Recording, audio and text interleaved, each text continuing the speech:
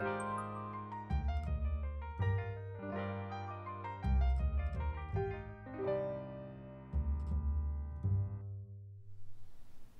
everyone, and welcome back to 21 Days to Fred. Well, here we are in bed because we have a special episode lined up for you today. So many people recommended that we should watch the documentary, Won't You Be My Neighbor? That uh, today turns out it's a foggy day, a cool day here at the beach, a perfect day just to snuggle up here in bed and watch that film. And I keep saying we because I have a special guest to introduce. She's finally making her appearance from behind the camera to in front of the camera. I'd like to introduce everyone to my wife. Hello, What's your name? Julie Keller. Julie Keller is with us. So terrific. Well, we've got the laptop all warmed up and ready to go. And so we're going to start this movie. Are you excited about seeing it? Very much so. I mean, so many people have talked about it, so many great things about Fred Rogers and about who he was. Secrets to be revealed. We'll check back in with you. Edgar, Edgar, what, what, what do you think he means by any trouble? Fred didn't want you ad-libbing, putzing around with the Andy words, Van Nigri. because he was always trying to get a message across in every show. I want there to be peace in this neighborhood. It's been a hard time for everyone. Well, really Want your fancy chair? That's just beside nice. This is like one of the saddest parts of the film. Yeah.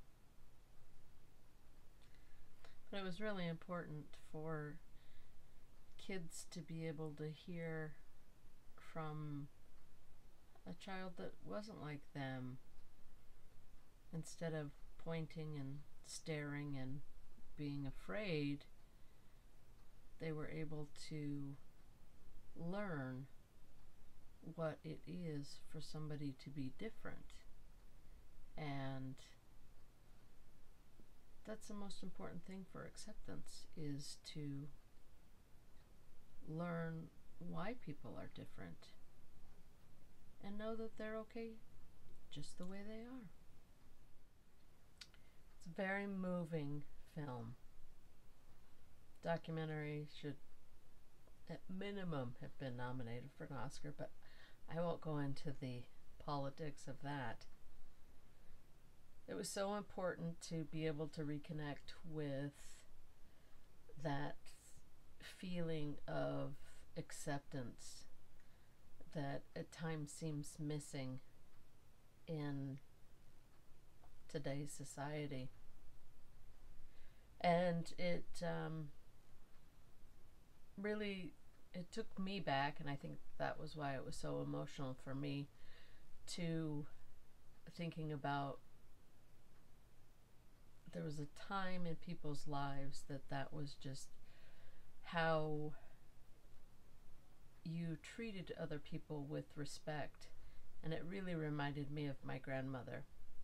And she shared a lot of those very similar qualities to Fred.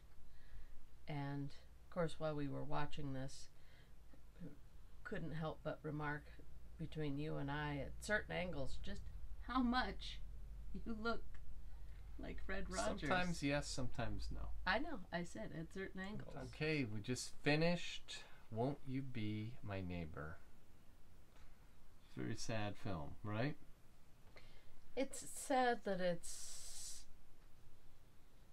people don't treat each other with the respect that we had from times gone by.